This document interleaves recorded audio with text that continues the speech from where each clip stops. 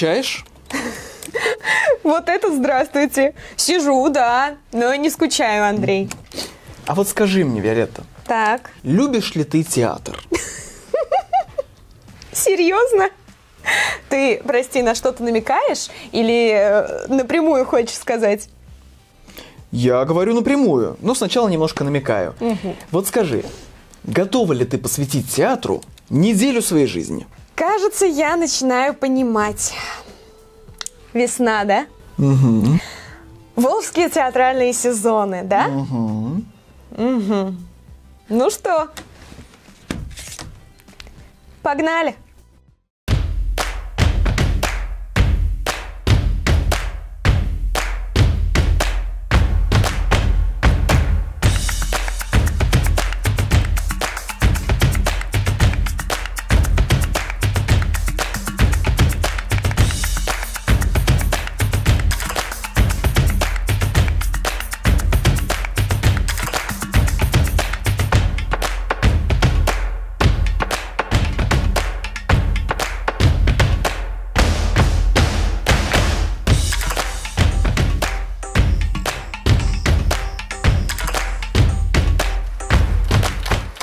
Ну что, делимся впечатлениями?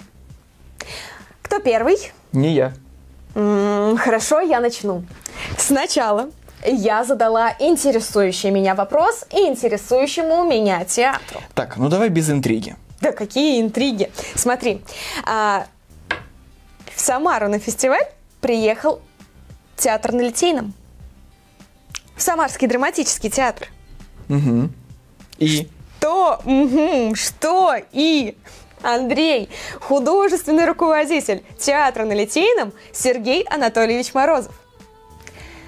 Художественный руководитель Самарского драмтеатра Морозов Сергей Анатольевич. Так, прости, я сказал без интриги, да? Забудь, рассказывай. Хорошо, но сначала про спектакль. Современность – это самое главное в прочтении. Тем более, что у Островского в этой, именно в этой пьесе дан карт-бланш. Там нет э, сурового такого э, жестокого, как у Гоголя, описания персонажей. Ну, такие шаржированные в свое время персонажи, ну, а мы пытаемся их как-то так погрузить в современность. Вот и все. У Островского сама пьеса, не оторваться. А тут мы что-то еще выходим и что-то изображаем в костюмах и в гриме.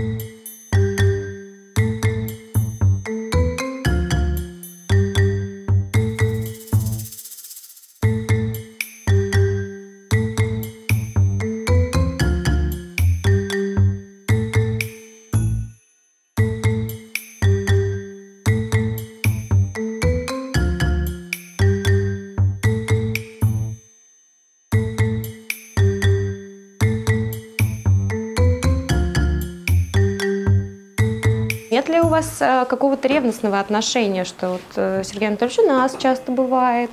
Нет? Вы совершенно спокойно к этому относитесь?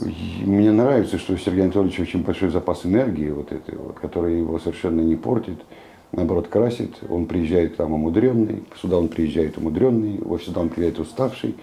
Наверное, это очень хорошо. Я бы так не смог. Но видите, какие люди среди нас живут, выдающиеся. Мы признаем, что Сергей Анатольевич Морозов. А вам э, не интересно просто как человеку посмотреть, что здесь Очень интересно, очень интересно. Фестиваль – это, знаете, сосредоточие в одном месте разных театров, разных взглядов. Это очень важно. И в такой единый кусок времени. Это вообще важно. Любые фестивали – это обмен. Ну а как еще? Интеграция современным языком. Ну по-другому же никак. Ну как? Надо же общаться людям. Людям с людьми, это в смысле артиста, артисту с разными зрителями? Зритель ведь все равно разный. в- в- Ну, э, театру это тоже интересно. Приезжаете в другой город, естественно, э, новое восприятие, конечно же. Тем более, опять же, этот театр, в котором хочется играть. Вот это очень важно. А я вот Лира посмотрел. Ого, короля? Его. Да ну, осилил классику. Ну а что там, час десять всего. Подожди, лир? Ну да, он же кукольный. В смысле? Кукольный лир? Ну да. И, кстати, это вполне логично. Хочется понять, насколько мы можем вызвать эмоции у более взрослого зрителя. Мы же сами взрослые люди и хотим перенести свои переживания, свои внутренние чувства, и, и чувства и любви, и семейные переживания именно на взрослого зрителя. Вот что у нас получилось, мы сегодня вам и покажем.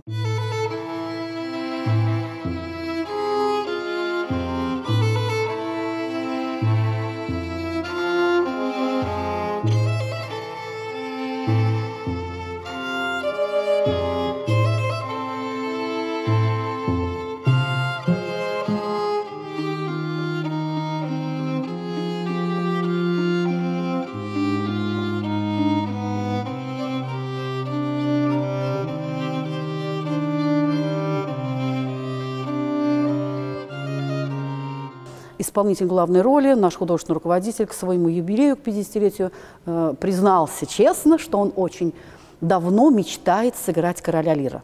Но когда изучаешь историю короля Лира, и вообще это постановка мирового значения, понимаешь, что любой режиссер хочет поставить короля Лира в любом жанре, и любой актер хочет его сыграть. Скажите, кто я? Лир или не Лир?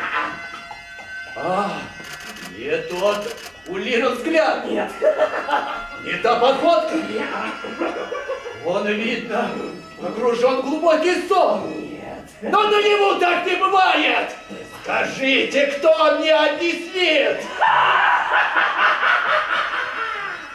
Но спектакль, с нашей точки зрения, это был так задумано режиссером и сценаристом, что это трагедия отца. Потому что спектакль идет всего час 10 минут, и понятное дело, что такое длинное, огромное, емкое произведение невозможно. В некоторых театрах и до пяти часов идет такой спектакль, в других жанрах, а в «Куклах» это было бы утомительно. Если трактовать, если э, ставить Лира в классическом понимании с целой армией персонажей, с, целыми, с целым ворохом сюжетных линий, куклы не выдержат. Куклы не выдерживают много текста, куклы не выдерживают э, драматических каких-то мизансцен. М, Язык куклы — это язык движения, позы. Чем меньше слов и больше каких-то выразительных мизансцен или движений, или позиций куклы, как она встанет, вот в том случае она будет выигрывать.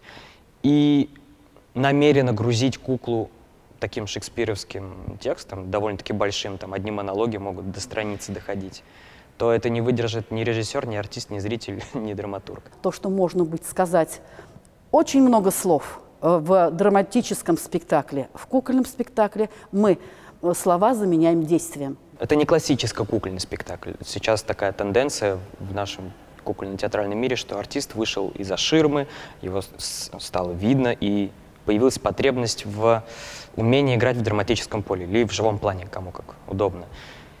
Куклы там играют роль, скажем, либо воспоминания, ну, в плане, если вот происходит какое-то воспоминание, то есть король вспоминает о том, как он прогнал свою дочь, это выполняется уже в куклах. А то, что происходит непосредственно перед глазами зрителя, вот здесь и сейчас, в настоящем плане, временном, это уже исполняется, собственно, нашими лицами, нашими эмоциями. Служить тебе можно только в дурацком колпаке. Жаль, что у меня нет двух колпаков и двух дочерей. А зачем? Ну, как э, состояние я бы отдал дочерям, а колпаки поставил себе. Вот один у меня, а другой выпроси себе у дочек. И ты назвал меня дурачком, голубчик? Ну, ну, ну, остальные титулы ты роздал. А это природный. Приходит дуракам капут, не спрос на них сегодня.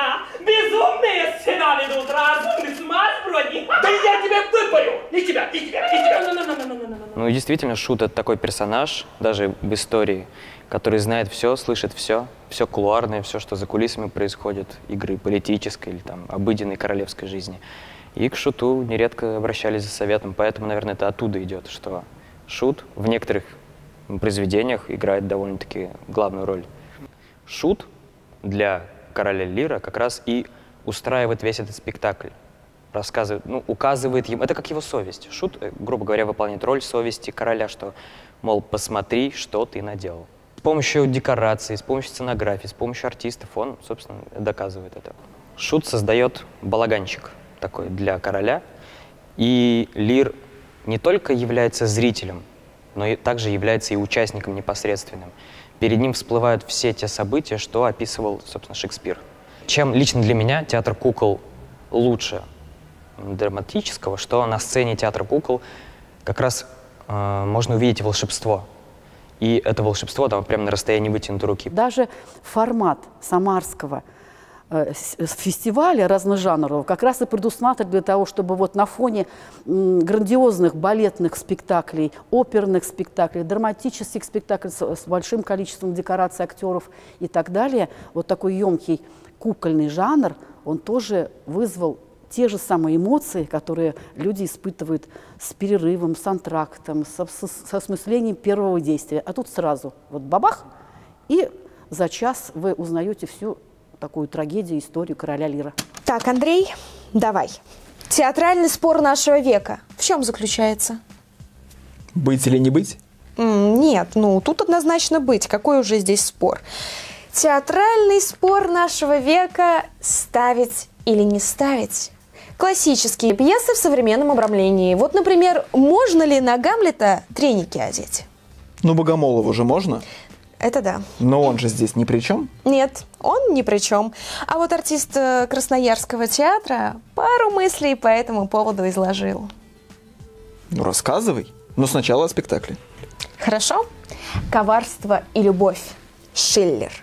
Тут будет такая зыбкая, э, зыбкая как это, дорожка, которая вроде бы и классические, и, и вроде бы какие-то интересные идеи. Я, собственно говоря, тоже люблю, я люблю, когда э, распаковывается текст. То есть он становится объемным. Вот ты берешь какую-то плоскость, и пока ты вертишь бумажку, она становится... И некоторые объемы здесь обнаруживаются. Даже, собственно говоря, они, они придуманы в оформлении, оно оригинально имеет свои идеи. Э, Вот. Э, Он графичен, а он эм, такой, ну, не размашистый. Вот бывают спектакли размашистые, или вот такие очень бурных там чувств, или бурных каких-то, даже, ну, там даже запредельно бывает. Нет, он, он как бы такой, э, он как бы согласно написанному варианту имеет свои ну, свои прочные устои, границы и свои идеи. Притом такие четкие, а, которые владеют человеком, где человек иногда э, в силу своих возможностей, человеческих чисто, не может что-то переступить, не может понять. Это такое интересное исследование. Оно, оно, так, оно, оно исследователь. Знаете, иногда как бы берешь лупу и, и вот рассматриваешь, что-то я там не видел, но там как была какая-то точка. А это, оказывается, не точка, там, оказывается, вензель какой-то, там какая-то закрутка. Вот, вот для меня он так выглядит. И текст именно так мы как-то разбирали. Над текстом работал э, главный режиссер э, Олег Рыбкин. А, Он его компоновал, потому что, конечно, пьеса, конечно, длиннее. А, Вот. И мне кажется, что он сделал такие удачные, э, удачную компоновку текста. Я не могу говорить то, что должны видеть вы, э, потому что это смешно, что я вам хочу объяснить, что нет. Вот мне кажется, это вы должны увидеть, что в этом, это нам и любопытно, когда мы играем. Мы смотрим, а чем дышит зал, вот чем в этот момент он. Иногда мы предполагаем, потому что мы так четко там строим, мы предполагаем, э, зритель вот так будет реагировать. Иногда он ведет себя по-другому, э, что так, э, это такая дышащая. Вообще все спектакли, они дышащие. Вот приходит каждый зритель, и он организуется в какую-то свою определенную массу. Он, он определенно смотрит. А завтра какой-то другой зритель. Вот. Ну, мне интересно, как именно в вашем городе.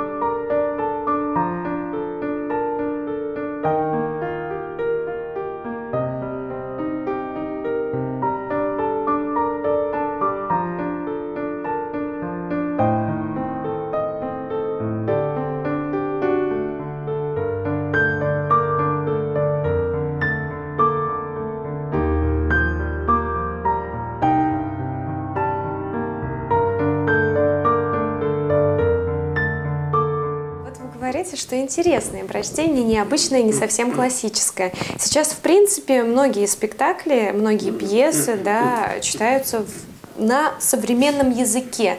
А для чего это происходит? Как вы думаете? Для того, чтобы быть ближе к зрителю, передать ближе эти смыслы? И насколько вам Дело вообще в, том, это что, нравится, Вене? дело в том, что я думаю, ни вы, ни я не знаете какая она в оригинале.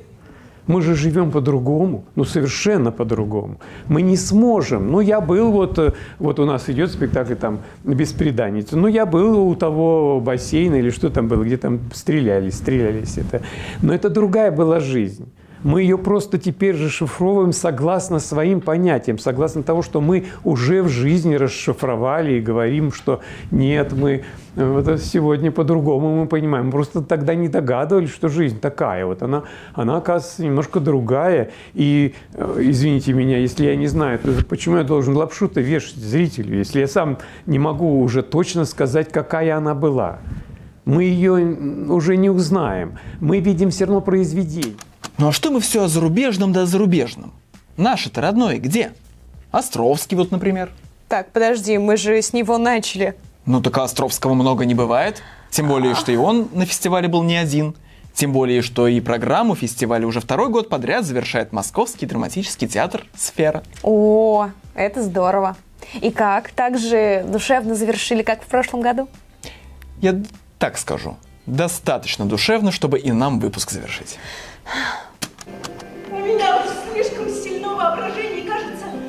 Ущерб рассудку. Ну, это не парокс. Это у многих женщин есть. Мне ничего не стоит перевестись за 17 лет назад. Представить себе, что я сижу в своей квартире, да вот, и, и вдруг мне стало скучно. Я, я беру платок, накрываюсь и, и буду навестить своего сына. В первую очередь, пьеса про людей, наверное, это самое важное. А, про жизненные ситуации, которые с нами случаются. И мне кажется, в этом сила вообще как бы этого произведения. А, про какую-то, не знаю, человеческую любовь, возможно, даже. И про, ну, в первую очередь, вообще пьеса про материнские какие-то такие инстинкты, отношения ребенка и матери. Островский великий автор. Э, Я думаю, что многие люди в России понимают, принимают его и чувствуют глубины. Ам, И наш художественный руководитель Александр Викторович очень любит этого автора. И мне кажется, что пьеса действительно трогательная. И женщинам она будет, возможно, немного ближе, потому что действительно тема отношения мамы а, к ребенку, она очень сильно а, раскрывается и разворачивается, очень сильно проигрывается. Ну, мной в меньшей части, и вот Евгении Казариной а, уже в- во всем остальном действии. Ваша задача, получается, наверное, как-то, не знаю, задать какие-то, не знаю, может быть, ситуации, черты, да, которые, получается, потом заберет актриса, которая играет более взрослую версию, да? Есть Да. вот, вот такая у вас? Э, Переклички. Мы с Женей много общались, с Евгенией Казариной, много общались на эту тему, и а, она сказала, что ей было бы удобнее, если она какие-то мои приспособления, наблюдая за мной на сцене, э, немножечко интерпретирует под себя. И мне очень интересно было на это смотреть, и очень интересно было с этим поработать.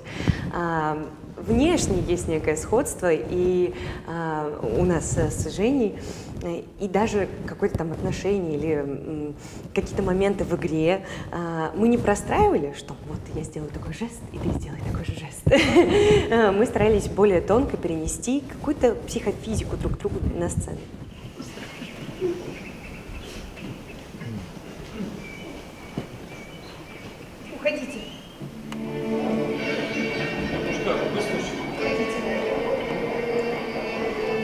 Твои, деньги. Уходите, говорю. Было интересно поискать этого человека, который вот приходит к таким э, жестоким, э, хитрым, каким-то, возможно, анти, даже, ну, для кого-то античеловеческим каким-то выводам и решениям, и выбору. Как вообще вы относитесь к образам таких антагонистов? Их интересно всегда играть. Ну, как бы антаго- антагонисты, они всегда э, как будто бы интереснее, чем какие-то лирические или ма- романтические персонажи. Потому что нужно найти именно вот этот момент оправдания, то есть оправдать его для самого себя.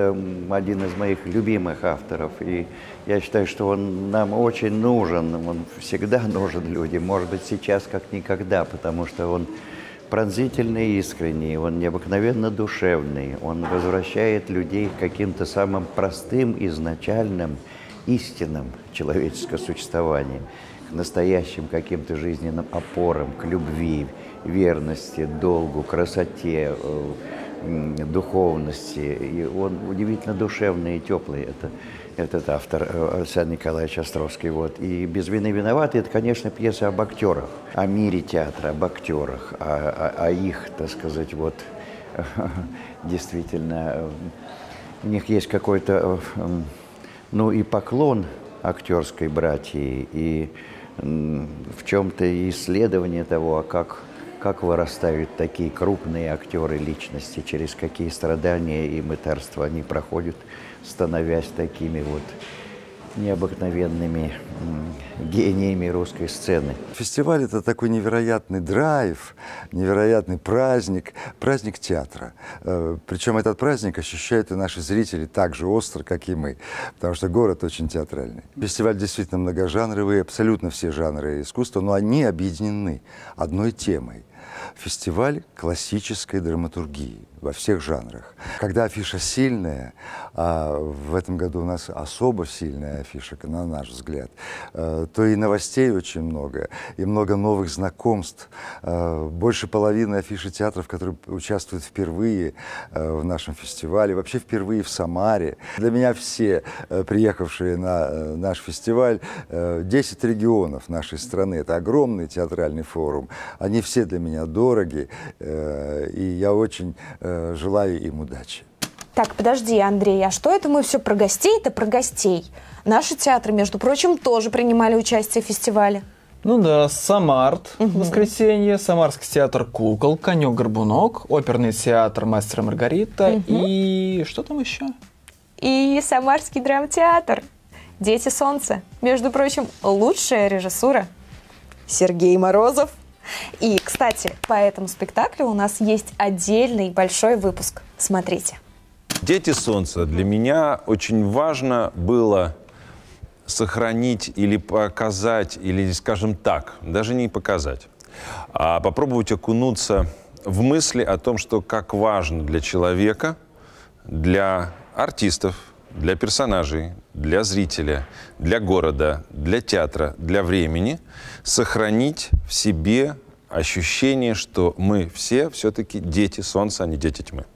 А, Мне кажется, что э, порой в этих мыслях э, мы чрезвычайно нуждаемся. Порой не, э, череда дней, суеты, забот, проблем, тревог заставляет нас об этом забыть. Или, скажем так, отодвигать это на задний план. Да, ощущение себя как человека призванного на эту землю для того, чтобы сделать что-то светлое, а, оно накладывает обязательства, и это достаточно непростая миссия.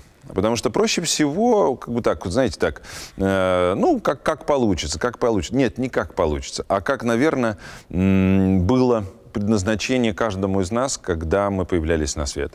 А, и несмотря на все те э, порой пронизывающие вихри, которые существуют вокруг нас или внутри нас, э, вот сохранить эту веру, э, возможно, даже несмотря ни на что. Дети солнца. Мы победим темный страх смерти. Мы дети солнца, рожденные солнцем. Это оно горит в нашей